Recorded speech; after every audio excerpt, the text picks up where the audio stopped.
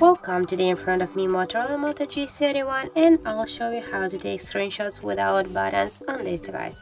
So first you should go to the settings app and then scroll down to the system section. Now just go here to the gestures and here you got this three finger screenshot section top there and that's now just turned on. So just to turn on tap here once on the switcher and to turn off here tap again on the switcher. And now I'll show you uh, just to take a screenshot you have to just touch and hold your three fingers at the same time on your screen. And as you see we got here the screenshot. We can share with this screen we can edit the screen. I'll make it one more time to show you. You can also delete the screen. Here if you'll just tap on the screenshot you can open and change the size or you can just type here something and then we can just save the screen.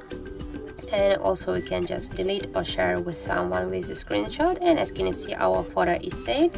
And then you can just find your screen uh, all taken previously screenshots in the uh, gallery or in the just photos application here. And now just go to the library here and here as can you see we got the screenshots folder with all, all our uh, previously taken screenshots. So that's how it looks.